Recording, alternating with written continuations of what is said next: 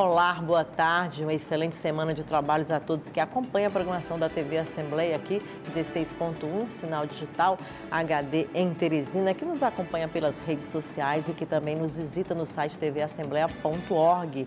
E hoje, o que a gente vai conversar aqui nesta edição do Palavra Aberta é um assunto que interessa a todos, educação. E nesse momento que o Brasil vive um assunto que desperta a atenção de todos são os recursos destinados para as universidades, também para os institutos federais, tudo aquilo que garante o ensino de nível superior para a população brasileira. Estamos recebendo aqui o professor, vice-reitor da Universidade Estadual do Piauí, professor Evandro Alberto. Boa tarde. Boa tarde, Tereza. Boa tarde, telespectadores da TV Assembleia. Nesse momento também começa o Estado já a discutir a Lei de Diretriz Orçamentária para o ano de 2020, é o planejamento financeiro do Estado. E como acontece anualmente, né, dentro da Assembleia dos Trabalhos das Comissões de Finanças, depois em plenário, tem todo aquele valor já destinado para os poderes constituídos, a subdivisão deles, o acréscimo que é sempre pedido, os deputados que têm sido sempre sensíveis à questão da UESP. No ano de 2018, para exercício de 2019, que a gente vivencia agora, foram destinados 200 270 milhões para o ESP e também, por iniciativa dos deputados, foi acrescido um valor de 400 mil reais para que fosse realizado o concurso público naquela instituição nesse ano. Nesse momento, com o anúncio há mais de dois meses do governo federal de restrição ou chamado de contingenciamento de recurso para o ensino superior, que eu sempre digo, quando é reduzido a educação como prioridade do Brasil, né? Assim, professor Evandro? Então, vem a UESP para saber como realinhar os valores da casa. Vamos saber também aqui nesta edição do Palavra Aberta com o professor Evandro os recursos destinados à tecnologia naquela instituição. Tudo isso você vai acompanhar a partir desse momento. Professor Evandro, esses recursos é, é, que estavam previamente destinados para, para a UESP de 270 milhões, eles já chegaram na sua totalidade de 50%, digamos assim, ou existe dentro do que é aprovado, dentro do que está previsto e o que é realmente repassado, existe uma diferença?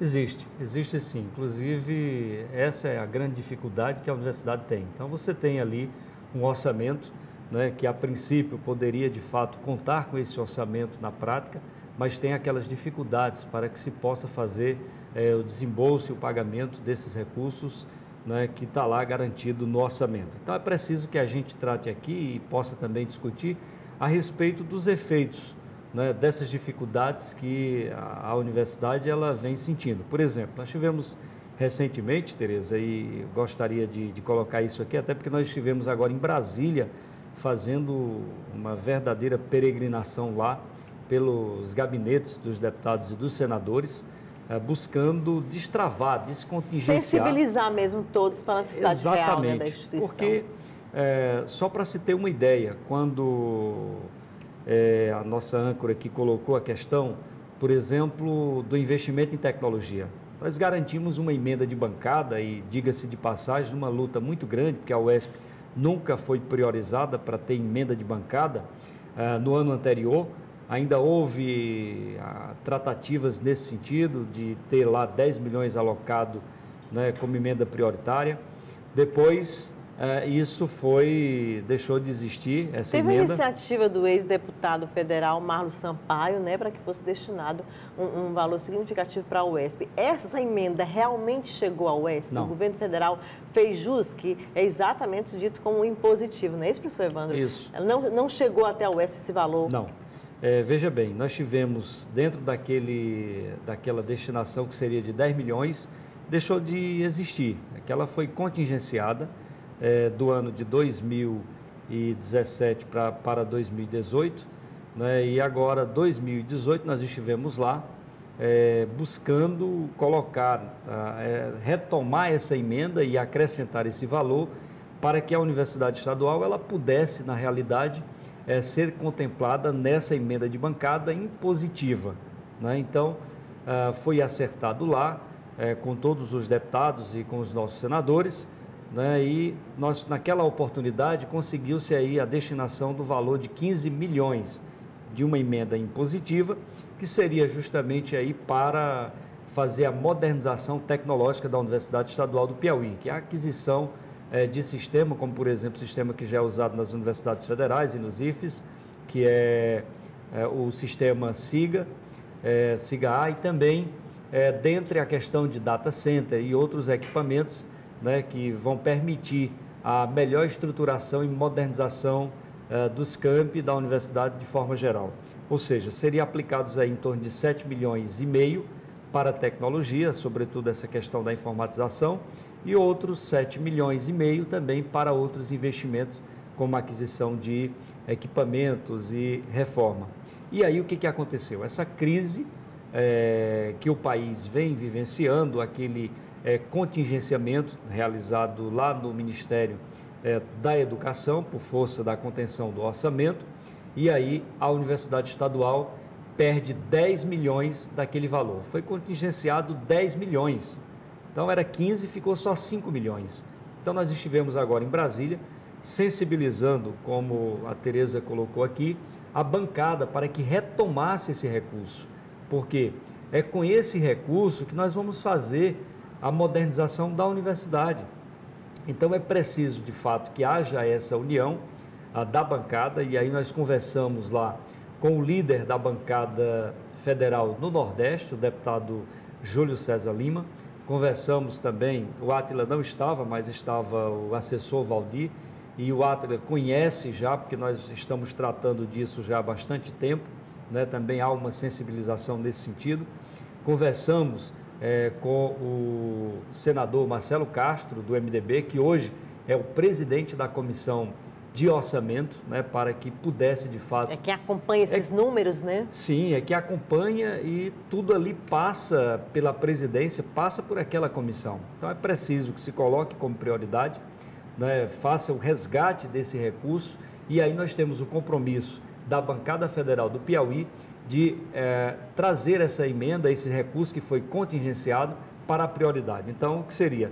É, novamente, devolver lá para a emenda, certo, o valor de 15 bilhões. Então, que a gente pudesse, de fato, contar com esse orçamento. Tereza, é muito burocrático. E a gente até se pergunta por que é, o FNDE, porque o Ministério da Educação, porque é, as universidades estaduais encontram tanta dificuldade. E aí, é, em particular, porque a Universidade Estadual do Piauí encontra tamanha dificuldade lá no FNDE. Para se ter uma ideia, por exemplo, a gente tinha lá, é, tinha não, tem, porque até agora não, não, saiu, de emenda que vem de Nazareno, que vem é, do Heráclito, é da Regina Souza. Que nunca saiu. Do Assis, que nunca saiu. Né? Então, o valor, para se ter uma ideia, de 6 milhões de reais. Desses 6 milhões, Tereza, 2 milhões são para a construção do laboratório de enfermagem, para Picos, Floriano, Parnaíba e aqui o CCS Facima em Teresina. E aí tem. É... Seria para dar estrutura para os cursos da área de saúde, Sim, né? laboratórios. Né? Então, dentre outros investimentos. E aí vai para o FNDE, aí a CESU-MEC, que é a Secretaria de Educação Superior do MEC, aí a CESU não dá o parecer de mérito, é, diz que a competência é do FNDE, chega no FNDE, o FNDE joga para a CESU, diz que a competência é da CESU-MEC, e aí teve recentemente lá em Brasília o senador Ciro Nogueira, é, o senador Marcelo Castro e também o governador do estado, onde trataram lá com o Decotelli, que é o presidente do FNDE, sobre a resolução desse parecer. Agora, imagine aí, Tereza, somente um parecer de mérito para testar lá, dar um parecer, está levando uma infinidade de tempo.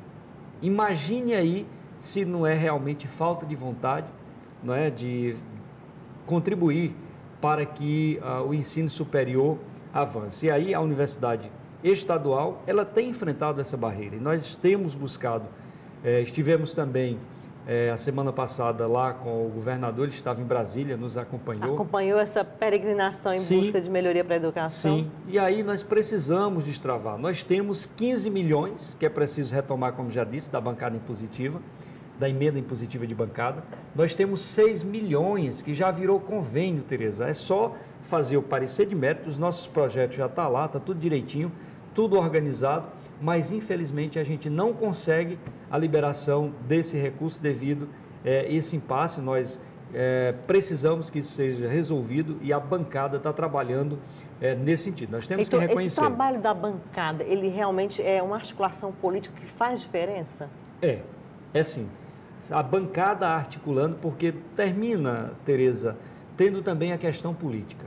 Então, não a adianta ingerência dizer política que é não... muito existe, forte, Existe, né? existe, existe. Nós sabemos que existe. Então, é preciso que se faça esse acompanhamento. Então, é tanto que quando a bancada se empenha numa das causas, é, peita lá o ministro, o ministro da Economia, né? peita a Casa Civil e por aí vai. Então, tem aquelas articulações, tem o enfrentamento.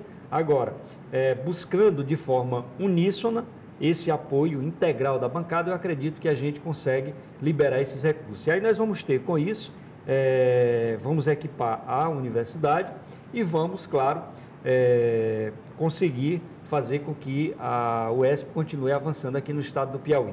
Ora, mas nós temos também mais. Tem uma batalha muito grande, porque nós precisamos ainda, os nossos prédios da UESP são antigos, não foram construídos para ser sede da universidade. Foram adaptações Foram ao longo dos tempos, né? E isso se deteriora, né? E, e, a gente tem dificuldade realmente de manter essa estrutura é, funcionando adequadamente. Então, nós já temos realizado todos os projetos para a construção, por exemplo, do campus é, lá de Corrente, de Uruçuí e de Floriano, que está lá no Finisa, que está no Finisa. Está previsto Está isso, previsto, está né? previsto. E nós ainda temos também, e o governador tem garantido, é, ainda, Tereza, é, a construção dos outros campi, como por exemplo Bom Jesus, é, Oeiras já está sendo construído, mas a finalização dele, o de Piri, Piripiri, Campo Maior, é, Parnaíba, São Raimundo Nonato, né? e aqui é, os centros em Teresina, exceto Torquato, que deverá se, ser de outro recurso. Então, com recursos lá do, daquele recurso do Fundef, né? Então, nós estamos aguardando aí. E essa visita também a Brasília ela foi importante porque nós conseguimos também outros investimentos. Por exemplo, Marcos Aurélio Sampaio, né, o deputado, disse: olha, professor, nós queremos investir lá em pesquisa. Então, jovem vamos... deputado do MDB, Sim, né? Sim, jovem deputado, acho que é a, o mais Primeira... jovem da história do Piauí, é. né? Lá na, na, na Câmara. Então, o deputado chegou e disse: olha, nós vamos garantir recursos para a pesquisa. Professor, nós vamos destinar um milhão de reais para a pesquisa. Deputada Iracema Portela disse: olha, nós vamos destinar é, para o enfrentamento da violência contra a mulher, aquela questão, por exemplo, de equipar é, núcleos. É, o deputado Júlio César garantiu em fazer uma articulação junto ao Ministério da Agricultura para conseguir cinco patrulhas mecanizadas para atender os cursos de agronomia e zootecnia, são cinco no estado. Né? Então, é, a deputada Rejane para 500 mil para equipamentos de conectividade, né? melhorar a estrutura dos campi para o acesso à internet. Então, o deputado Flávio Nogueira, por exemplo, que é médico, e aí ele disse, olha, professor, eu gostaria muito de dar minha contribuição lá para o Centro de Ciências da Saúde, a FACIME. Inclusive, os filhos do deputado estudou até lá na Tem toda uma ligação, Tem toda né? uma ligação. Deixa então, mais sensível. Isso, então vamos tratar, nós estamos aí é, fazendo o levantamento das demandas e aí vamos encaminhar para que seja colocado agora no orçamento é, de outubro, conforme a senhora colocou aqui né, no início, que já estaria sendo trabalhada essa questão de orçamento. Então a universidade precisa, Tereza, desse apoio da bancada, dos deputados estaduais, e aí nós temos aqui também é, que falar né, que os deputados estaduais é, têm se esforçado nesse sentido. Tem alguns que destinam emenda individual, como é o caso do Severo Eulalio, destinou recentemente 200 mil, está lá para ser executado. O Nerinho, 100 mil. O Luciano Nunes, 200, 300 mil, Luciano Nunes.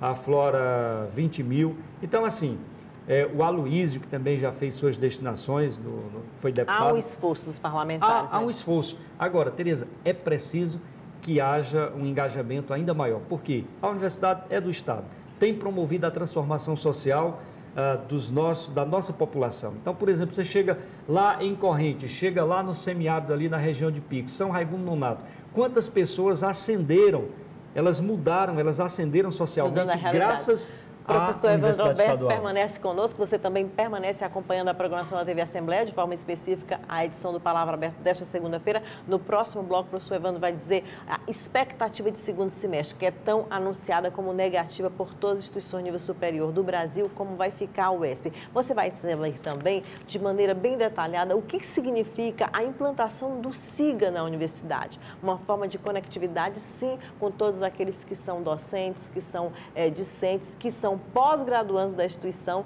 e que é já implantado nas demais universidades brasileiras e que ainda falta acontecer isso na UESP. Você vai saber tudo isso, vai saber também a contribuição dos deputados estaduais para aquela instituição. Você continua conosco, a gente volta em instantes.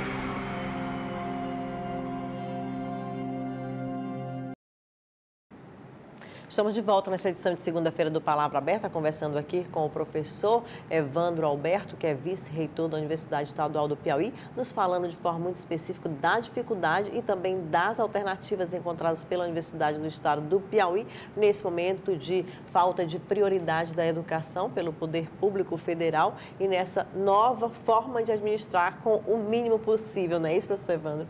Que nos dizia no, no bloco anterior e vai nos explicar agora o que, que significa significa para uma instituição de nível superior não ter o SIGA implantado? O que é o SIGA? O que significa? Como isso nos deixa à margem de todas as demais instituições de nível superior, professor? Bom, é, Tereza, o SIGA é um sistema, por exemplo, do SIGA existe lá vários pacotes de modernização. Então, por exemplo, do SIGA tem o sistema acadêmico, tá certo? Porque o SIGA, ele traz vários pacotes. Então, traz o sistema acadêmico. Esse aí é aberto para todos os acadêmicos, não é sim, isso? Sim, sim. E lá contempla tudo. É professor, é aluno, é toda a vida funcional. Conteúdo programático, tudo. de graduação e pós-graduação, as obras, inclusive, tudo, né? Isso, tudo, tudo. Tudo disponibilizado através do SIGA. Sim, a questão do próprio gerenciamento de recursos, não é? onde, por exemplo, nós teríamos todos os setores se comunicando. Né, com o SIGA permite isso. Então não tem como uma instituição, por exemplo, funcionar é, com essas dificuldades de sistema acadêmico, questão de problema de internet, né? porque você com um sistema desse facilita para o professor exercer suas atividades, facilita para o estudante, facilita para os técnicos, né? facilita para todos os servidores. Então, trata-se da própria modernização da universidade. Então, nós o não que, podemos... que falta para a implantação? Foi recurso? Foi é, pessoal qualificado dentro da própria instituição? O que, que faltou para que seja implantado o SIGA? Primeiro, recurso. E aí, pessoal qualificado. Então, recurso, é, o que, que a gente precisa agora? Como eu coloquei, 7 milhões e meio para implantar. Então, sem esse dinheiro, não tem como a gente implantar esse sistema. Existiu uma previsão para esse ano ainda essa implantação? Está nessa emenda que foi contingenciada, de 15 milhões. Então, há um compromisso da bancada federal de auxiliar, de ajudar no destravamento, no descontingenciamento desse recurso. Então, está no orçamento de 2019, deste ano. Então, se isso ocorrer agora, é, havendo essa sinalização, nós vamos partir para a licitação. Então, a licitação para adquirir e implantar o sistema, e migrar toda a base de dados, toda a vida da universidade para esse sistema. Isso leva, que a transferência de tecnologia, por exemplo, leva em torno de dois anos. Né? Mas se começa já implantando aquilo que é mais urgente e necessário dentre os vários módulos que esse sistema oferece. Então, se tem, por exemplo, hoje, as grandes universidades, os IFES, como eu já coloquei aqui, utiliza o sistema. Então, é preciso e é urgente, o professor sabe disso, né? é uma necessidade já bem antiga por parte deles. Nós temos um sistema que foi desenvolvido aí já há mais de 15 anos. Né? Então, com plataforma que já, de certa forma, sobrecarregada. Então, é preciso aliviar é, toda essa estrutura, toda essa plataforma. E esse sistema vai trazer é, é, esse desenvolvimento. Então, é por isso que é preciso, de fato, e aí nós aproveitamos aqui para, mais uma vez, reconhecer o empenho da nossa bancada e apelar para dizer que é preciso seguir firme, porque senão a gente não consegue. O nosso reitor, professor Dr. Noga Cardoso Batista, tem trabalhado muito né, com toda a equipe administrativa, mas é preciso, Tereza, que haja esse suporte lá em Brasília, que haja esse suporte aqui no estado do Piauí. Por quê? Ah, mas nós temos, a universidade está presente aí é, em 10 cidades, ah, com a sua a parte estrutural física, né, os campi presencial. Ora, lá tem prefeito, lá tem é, vereadores, lá tem deputados que são votados e nós estamos trabalhando, e a universidade ela tem cumprido esse papel, como já coloquei no bloco anterior, de transformação social, de ascensão social. Então, quando se investe na educação, se investe na melhoria da qualidade de vida. E né? a universidade que chega realmente no, no interior do Piauí é a universidade estadual, que né? Que tem a maior capilaridade.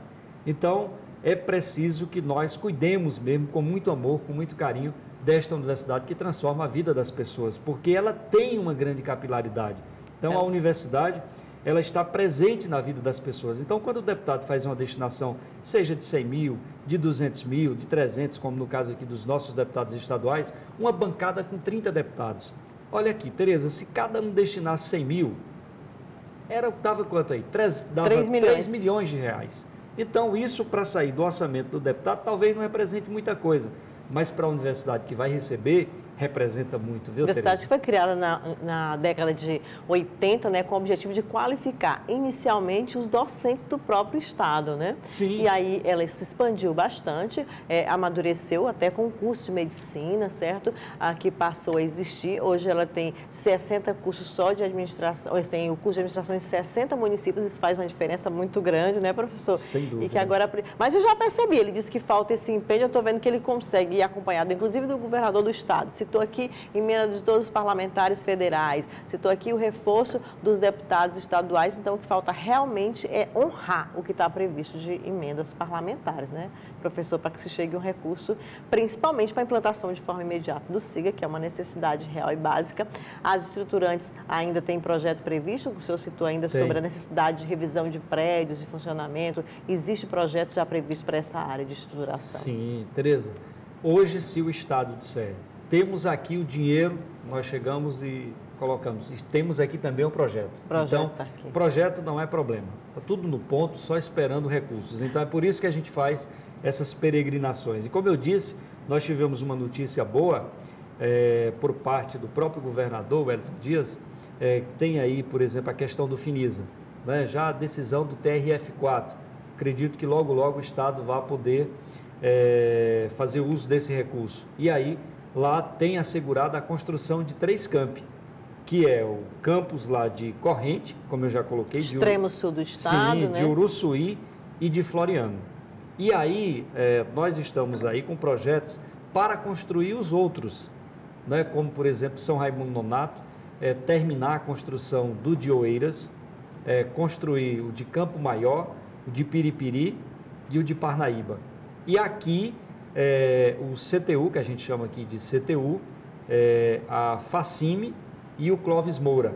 E aí, numa outra demanda de recursos, fazer a construção dos centros lá do Torquato Neto. Então é o seguinte. É o maior, o primeiro de todos, é o que a gente chama de é. sede né, da capital. Para você ter uma ideia, hoje seria em torno já. de 60 milhões para construir o Torquato Neto, tá certo? Os outros é aí na faixa de 10, variando de 10 a 13, 14 milhões. O professor citou aí a diferença social que faz a presença de um campo da UESP em qualquer um desses municípios, né, de transformação social mesmo, é, é a, a, vida da comunidade que muda, é a qualificação do professor daquela escola que é feita na própria universidade é, estadual, né, então é uma necessidade eminente. Agora eu falava no bloco anterior, professor, que o senhor iria responder agora, dentro dessa perspectiva que não é positiva para o segundo semestre nas instituições de ensino superior de todo o Brasil. Como é que está a UESP nessa expectativa do segundo semestre? Existe recurso suficiente para dar andamento em todos os cursos, todas as disciplinas? Existe uma previsão é, já prevista e a postos de ser executada para o segundo semestre sem problemas? Olha, é, a dotação orçamentária nós temos. Agora, orçamento nós entendemos como é também. Então, vai depender muito da questão é, de arrecadação do Estado, né? vai depender daquilo que seja definido como prioridade. É, e nós tememos, né? eu acho que esse é um, um pânicozinho que se tem é, praticamente aí em todas as, as, instituições. Então nós não sabemos como é que vai ser aí é, esse segundo semestre. Nós esperamos né, que tudo possa ser é, cumprido e executado conforme é, foi programado ou está programado. Mas é Isso. é preciso, é preciso que a gente possa de fato é, acompanhar e ter a esperança de que é, os desembolsos desses recursos que está lá no orçamento, que eles possam ser é, serem executados. Existe um número Agora, significativo de servidores da UESP que estão em situação trabalhista fragilizados, que são de empresas terceirizadas. Aí sempre que você pensa assim, quando falta recursos, são os primeiros a serem cortados. Existe esse risco de pessoas deixarem de trabalhar por não haver como a universidade cumprir com seus contratos com relação às empresas terceirizadas, por exemplo? Olha, Tereza, é, a UESP ela realmente tem um quadro significativo de terceirizado e isso ocorre muitas vezes porque é, também nós temos uma defasagem muito grande de técnicos administrativos, né, que até por conta das questões salariais, muitos deixaram a universidade, migraram para outra, outras instituições. Né, claro que é, agora se conseguiu o plano de carreira e salário dos técnicos, que foi implantado, agora foi implantado também o auxílio alimentação.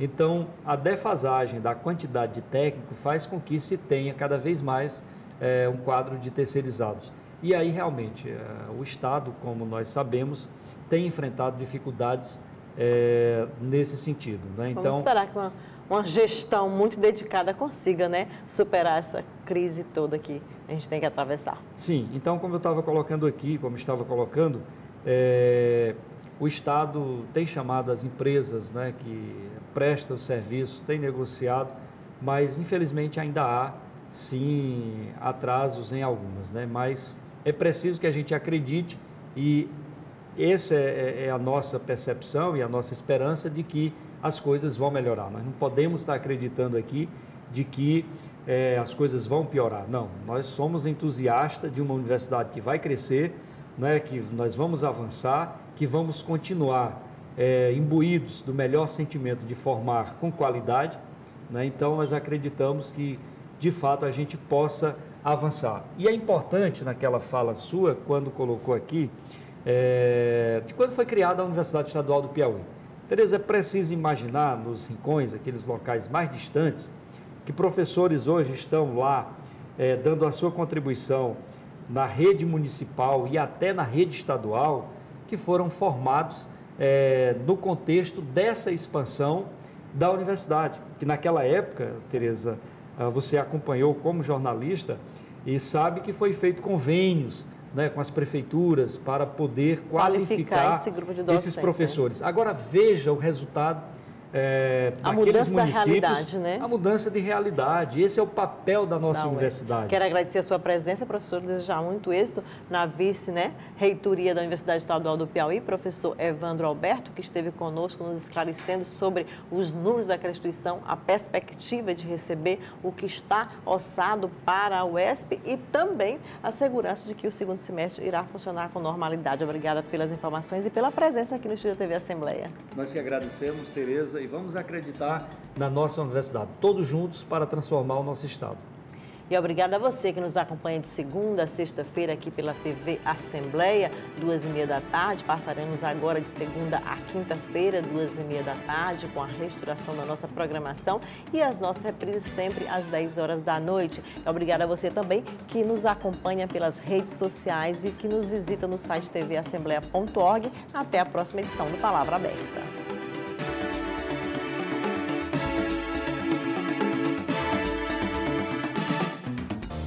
Assembleia. 12 anos. Ligada em você.